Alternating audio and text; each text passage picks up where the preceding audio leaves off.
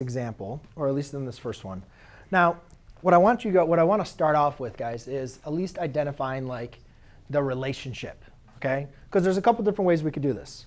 But the first important thing, guys, if we want to solve for x, I just want you guys to understand, we have a 45 degree angle. We can write using our trigonometric functions. We see here, here's our, we have our hypotenuse, and then this is going to be our adjacent or our opposite? Opposite. opposite. So I can write a trigonometric equation, say the sine of 45 degrees is equal to opposite over hypotenuse. Wouldn't you guys agree? Yeah. OK. Huh? What's the sine of 45 degrees? No, you're nothing. OK.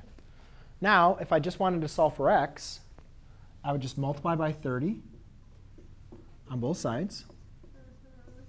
And I'd say x equals 30 meters times the sine of 45 degrees.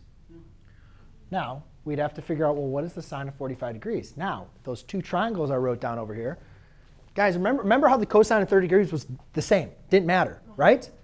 Didn't matter what the side lengths were. It doesn't matter that this is 30 meters. It could be 15 meters. It could be 1. It doesn't matter. They're the same.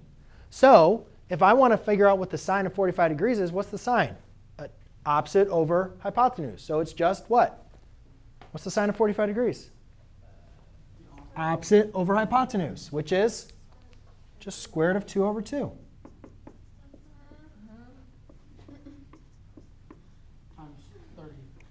So therefore, your final answer is 15 times the square root of 2 meters.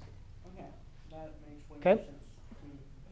Now, another way you guys could look at this, the same thing. Remember I talked about our relationships, guys.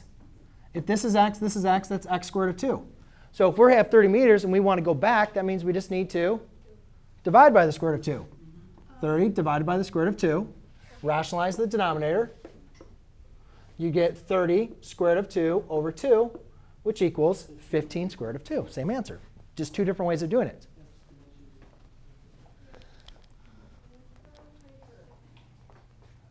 But